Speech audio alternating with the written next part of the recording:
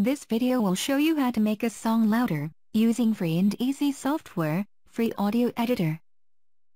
Step 1. Input a song. Click Open to input a song you want to edit.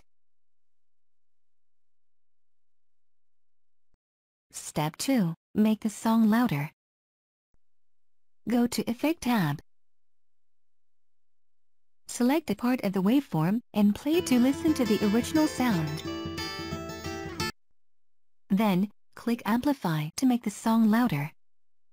You can specify the parameters to amplify the song, if you are familiar with them. Or, you can use presets for quick adjustment. You can preview the song. If you are satisfied with it, click OK to make the song louder.